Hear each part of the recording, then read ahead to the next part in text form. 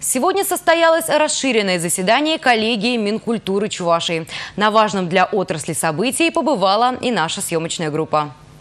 Весь прошлый год ведомство работало с большой отдачей. Год культуры заставил всех нас взглянуть на отрасль немного с другой стороны. С развлекательного акцент сместился в сторону духовную и нравственную. Мы стали больше говорить об истории, моральных ценностях, о том, что, собственно, делает человека культурным. Книги, живопись, музыка, театр и кино – они меняют наше мировоззрение, заставляют быть лучше. Об этом и многом другом говорили участники коллегии, а в их числе заслуженные и уважаемые в республике люди. Культурный календарь календарь прошедшего года был весьма насыщенным.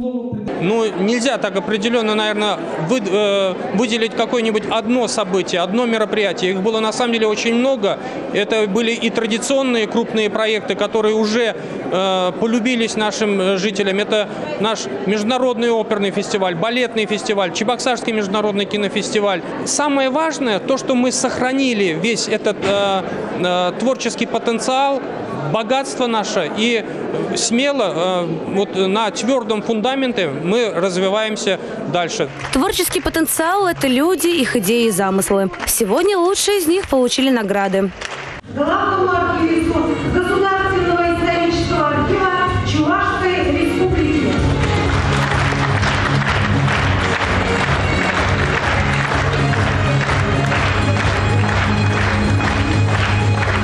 Нынешний год литературы и год Константина Иванова ставит перед культурным сообществом республики не менее амбициозные задачи, отметил министр. Успех зависит от слаженной работы всех подведомственных учреждений. Татьяна Леонтьева, Сергей Рябчиков, Республика.